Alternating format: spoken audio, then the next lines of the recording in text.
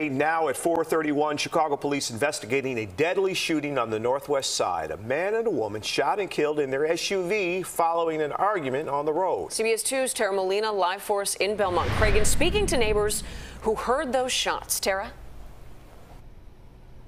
Marie and Jim, Chicago and Pol Chicago police are still investigating this afternoon. We're told no one is in custody, still no arrests. This neighborhood on edge.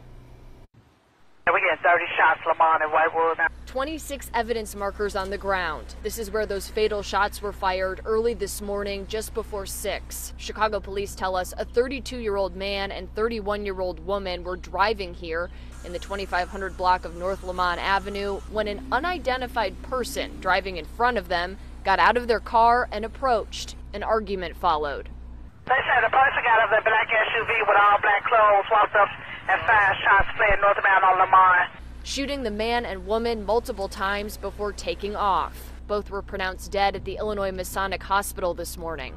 Neighbors tell us there were so many shots they sounded like fireworks. Jonathan Delau lives here and is a pastor at a nearby church. He told us about his neighbor who lives feet from where those shots were fired.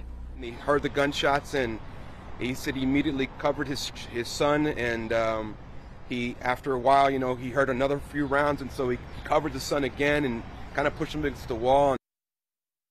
The deadly shootings here this morning mark an uptick in violent crime in this neighborhood. We're digging into those numbers, and we're bringing you another update coming up tonight at 6. Reporting live in Belmont Cragin, I'm Tara Molina, CBS 2 News. Tara, thank you.